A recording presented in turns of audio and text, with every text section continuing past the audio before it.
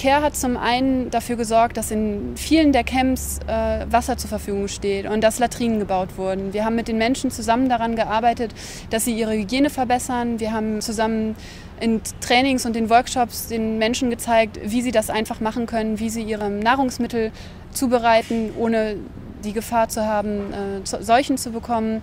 Und wir haben ihnen auch gezeigt, wie man sich mit, mit Seife und mit anderen einfachen Dingen äh, davor schützt, krank zu werden, in diesen wirklich schwierigen hygienischen Bedingungen. Das Zweite, woran wir unter Hochdruck arbeiten, ist der Wiederaufbau von, von Unterkünften. Wir haben seit Juni knapp 1000 sogenannte Temporary Shelters, also Notunterkünfte gebaut die sind ähm, halten für ein paar Jahre, sind also eine Übergangslösung, aber sie bieten den Familien wirklich die Möglichkeit, ein, ein trockenes Dach zu haben. Und ich habe einige dieser Familien besucht und es ist wirklich beeindruckend zu sehen, wie sie, wie sie sich da in diesen, in diesen Häusern zurechtfinden. Das sind relativ einfache Konstruktionen, die innerhalb von zwei Tagen aufgebaut werden können, aber sie sind erdbebensicher und sie sind weitestgehend auch wirbelsturmsicher, bieten zum, für die nächsten Monate oder vielleicht auch für die nächsten zwei, drei Jahre ein, ein sicheres Dach über dem Kopf.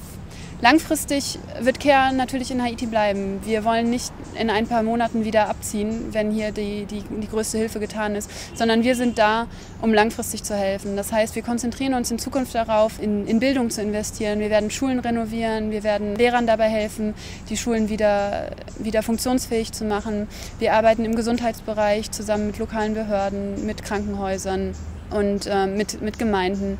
Und wir arbeiten daran, äh, sogenannte Cash-for-Work-Programme zu implementieren. Das heißt, Menschen äh, Geld dafür zu geben, dass sie bestimmte Arbeiten verrichten. Zum Beispiel Schutt wegräumen auf Straßen oder landwirtschaftliche Arbeiten, die der ganzen Bevölkerung zugutekommen und die ihnen die Möglichkeit geben, Geld zu verdienen. Denn das, was am wichtigsten gebraucht wird hier in Haiti, das ist eine Perspektive, das ist die Möglichkeit, Geld zu verdienen und das ist äh, die Chance, den Menschen an die, Dinge an die Hand zu geben, mit denen sie ihre eigene Zukunft gestalten können. Denn das ist eine Sache, die wir nicht vergessen dürfen.